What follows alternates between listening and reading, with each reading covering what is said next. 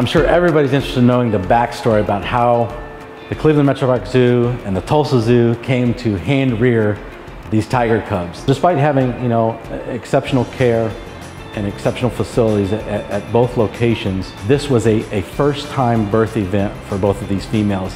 And as everybody can imagine, you know, it's such a unique life history event.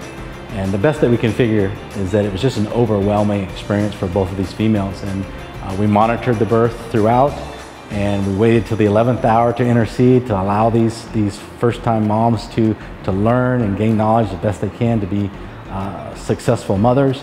Um, but there just was not the maternal bonding that we felt that uh, they were going to survive with their mothers. So uh, we interceded and took them under uh, human care. Humans can, you know, provide nutritional support.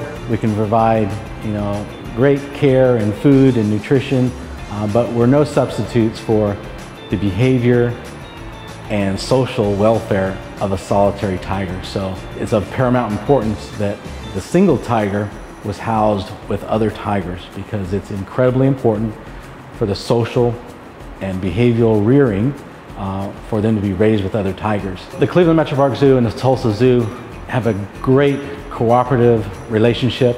Uh, this involves, you know, um, partnering on tiger conservation, but it also involves partnering on tiger husbandry and tiger welfare.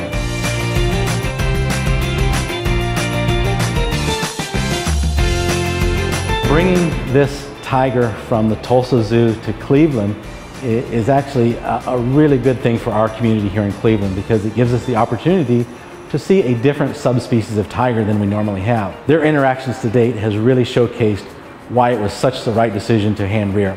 Um, it was almost an immediate bonding. The trio has been nesting together, playing together.